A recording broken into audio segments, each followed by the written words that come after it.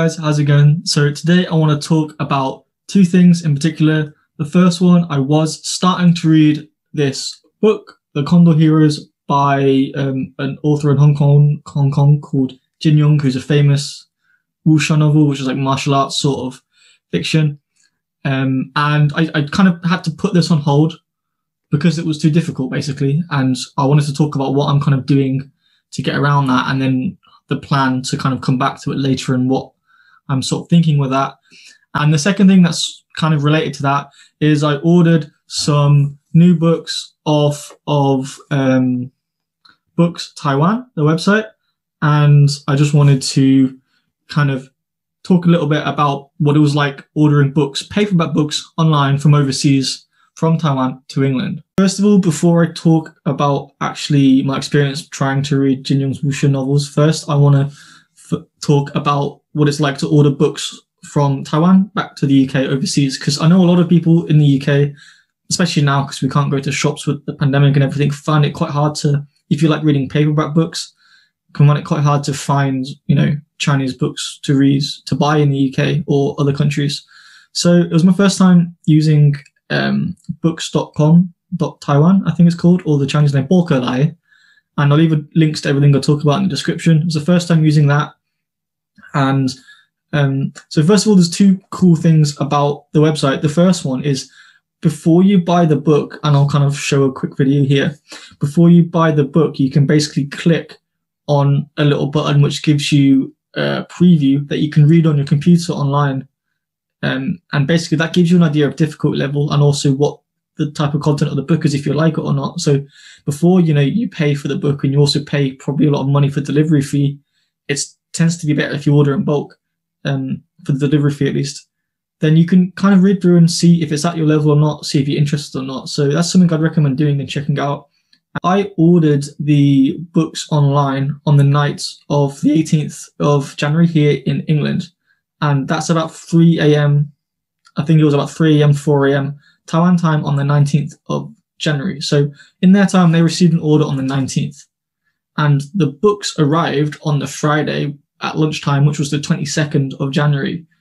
Um, so you're talking, you know, between four, five, six days. I think it was. I think it was five days for me to get books from Taiwan to England. Now that's really, really quick.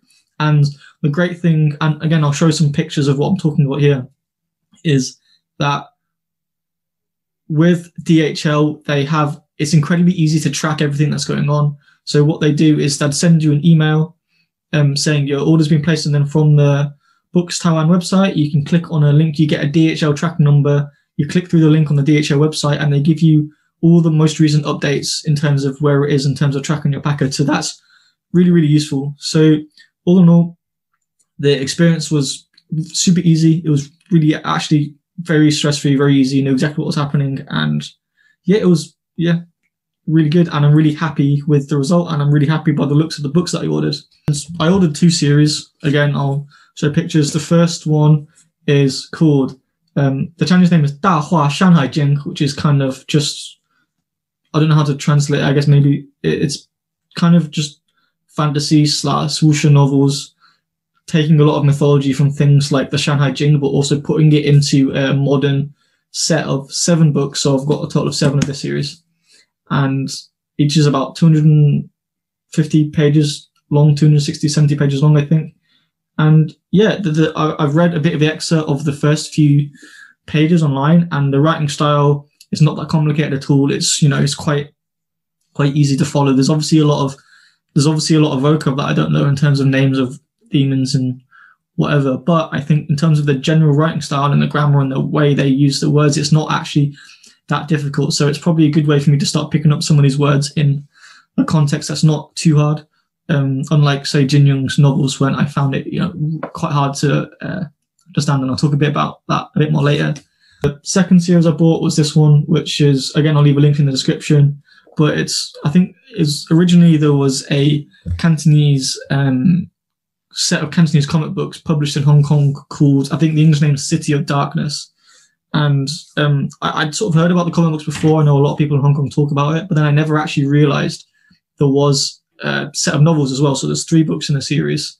So I decided to buy them. So then I've got them and I'll be going through them later. Now, I want to talk a bit about um, Jin Yong's novels. So the one that I was trying to read here, this is a gift from that Muse got me for my for Christmas, and the Chinese name is She She Diao Ying which the English name I think is um, like Condor Hero. Wait, the Legend of the Condor Heroes, and this book has basically been equated to being the Chinese Lord of the Rings. There's four books in this. So this this first novel is actually this is the first book out of four. So I've only got the first book of the trilogy. Each one of these is about 400 pages long. So the first book in the trilogy, if you count all the four books together in the story, is 1,600 pages. Then they've got three books. So you know, you're talking about thousands of pages if you include the whole thing. Now I've only got the first four, which is the first book of the series in the trilogy.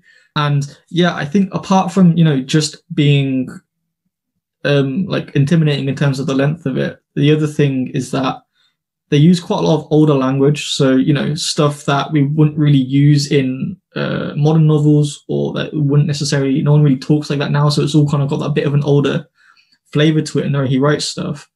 And apart from that, you know, there's also a lot of historical references and stuff like that that he mentions is all set in different times, you know, and you have to understand a bit of historical context behind what's going on to fully grasp the story, which I don't get a lot of it.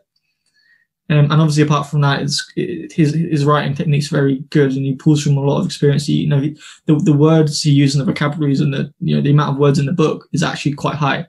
So I think all of those things made it quite hard for me to read. What am I going to do? What's my plan to try and make it better? So I think for now I'm going to put this series aside, and I'll be probably coming back in maybe about half a year or so, um, probably probably about half a year to try and reread it again. And the basic plan is so the first thing that I did is there's this really cool tool called Chinese Text Analyzer, and I'll leave a description. I'll leave a link in the description, and I'll probably create a separate video showing how I did this for anyone that's interested. Um, but basically, what you can do is this text analyzer. If you get any book as a Word document, so all of Jin Yong's novels are actually free to download on haodoo.net. I just wanted to try reading the paperback version because I like um, real books, like paperback books. But you know, it's free to download if you want to give it a go. So I downloaded the e- ebook off the website, converted it to a Word document, and what you can then do is you can import it into a tool called Chinese Text Analyzer. And the basic function of this is it would tell you exactly how many unique words and unique characters are in this specific book. And what it actually does is spits out a frequency list at the bottom with the most common words at the top and the least common words at the bottom. So, you know, the most common words would be things like the names of the protagonist or the character de, and that's like thousands or one or two thousand times in the book. And then, you know, going down right down to the bottom when there's words or characters that have only appeared once. So what you can do is you can then filter out words you know. So if you use this Chinese text analyzer a lot, it's similar to LingQ in the way that it tracks the words you know and don't know. Um, because it was my first time using it, I have I doesn't know that for me. But what you can do is you can just feed it a frequency li- or feed it a list of words and tell you you know the words for that.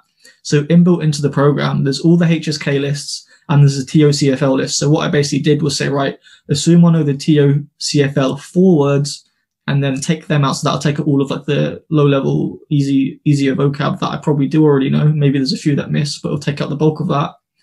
And then it'll get left with the unknown words or in theory unknown words um, that are in the book in list of frequency with the most frequent at the top and least frequent at the bottom. So what I did after that is you can then export it to Excel and then from Excel you can save it as a CSV file and then you can as well as exporting just the character you also can get the English translation, the pinyin, an example sentence for the first time it's used in the book. And then you know you can export all that as a CSV file and then import that into Anki. So what you get using this Chinese text analyzer tool is from an ebook, you can get an Anki deck of unknown words with example sentences from the book in order of the frequency they appear in the book, with the most common ones appearing at the front of the deck. I think I exported all the words that appeared 10 times or more, which was about 300 or 400 that are higher than TOCFL4 and created an Anki deck for it. So what I'm going to be doing over the next few months is just reviewing the, the cards at Anki and kind of going through that. A lot of the ones that are coming up are you know words that I already do know, or just quite quite things that are actually quite common, just not covered by the TOCFL exam. So there, I'm ended up deleting quite a few, quite a few. Um, but hopefully by repping the cards and doing that in a few months' time, it will be in a position where I can comprehend a lot more of the sort of language he uses and know at least the bulk of the words that are used, and then you know the bulk of the most common words that are used in the book. Now, the second thing that I want to do in the next few months is I wanted to start watching more um, TV dramas for that sort of wuxia genre. So I've already been watching a few now. I'm watching one at the moment. Um, but a lot of Jin Yong's books, including the Condor Heroes, is actually available for free YouTube uh, series on available for the entire TV series for free on YouTube. So what I'm going to do is before I go back and reread the book again, I'm going to watch the TV series first, so then I have a bit of context for the story because the TV series is going to be a lot easier for me to understand than the novel.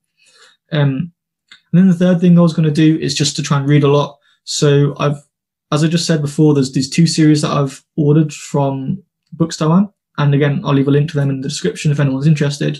So I'm going to be trying to read through them. There's a total of ten books for that. Um, and I was going to say maybe if I could get through that within the next half a year, but I don't know if that's pushing it or not, or if I would actually realistically get through it or not. Because also, what I think one thing I did want to do is I'm actually through doing a bit of research online, I was looking at what is Jin Yong's shortest books, his shortest novels, his shortest stories, and I've got you know uh, five books that I was able to download for free online, um, all with audiobooks for every single one of them, um, and also some of them have for the not not the two shortest, but the ones after that, three, four, and five, also have TV series as well. So what I'm going to do before I go back to the Condor um, trilogy, what I'm going to do is I'm going to read some of the shorter uh, books while I listen to the audiobook as well, and also try to watch the TV shows if they have one. So what I'm going to do is I will create a Word document with links to where I've downloaded all of these things. So the um, and then I'll put the Word document in the description for anyone's interested, and I'll order it in terms of shortest to like longest out of those shortest five books that he's done.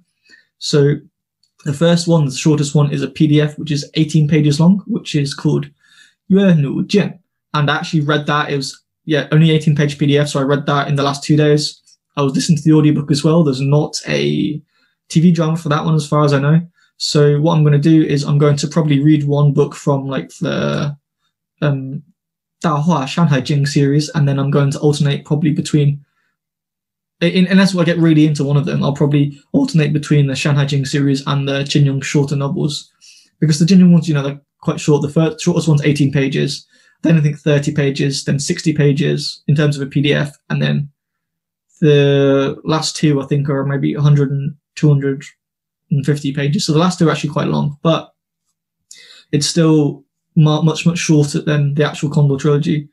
So yeah, I'm gonna I'm gonna go through re- reading the Jin Yong stuff first, and I'm gonna watch the series for them with the audiobooks while going through the Anki deck, and then when I've watched all of those dramas for the shorter books, I'm gonna watch the Condor trilogy da- drama, and then by the time, hopefully by half a year later, when I come back to reading Jin Yong, then I think um, hopefully I'll be in a much better position to actually understand it. And yeah, so in case, so also one thing that might be useful as well is reading other like similar genre books that are less difficult. So that's why I've said I've got the Shan Hai Jing and um, well, the, the one from Hong Kong is less similar. It's more about triads, but it's still got going to have a lot of that sort of fighting vocab. But if anyone's interested, there is a Taiwanese author um, by the name of Div, D-I-V, and you can find a lot of his books on Books Taiwan, or some of them are available on Haodoo for free to download. And I read one of his books a while ago. It was in the first 10 books read I read in Chinese video called, what was it? Shuang Chuan Shuo, I think. And here's a few, um, you know, wuxia type books. And I think it's so much easier than someone like Jin Yong. So if that's the genre that you're trying to get into, I think his books are actually quite popular in Taiwan. They are a lot written a lot more similar to how modern Chinese is written now. So if that's something you're interested in, um, I'll, I'll, again leave some links for that below. So, but yeah, that's the plan. So let me know if you have any questions about that. I, again, I will plan on making a video about two things: the eleven, the the the next ten books I read, which was eleven to twenty, and because I've read twenty one now and I haven't actually made that video, and also I'll plan on making a video about the Chinese text analyzer. So yeah, that that's um, some of the videos that I'm planning on coming up. If you've got any other questions, let me know. Um, I'm always happy to answer any answer and read all of them if I can. So yeah, thanks for watching, and I'll see you guys in the next video. Isso.